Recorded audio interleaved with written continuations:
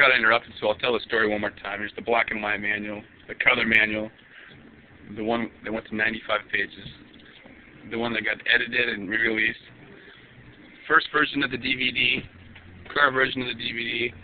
Now we have this, an actual office. From frat to home to who knows where.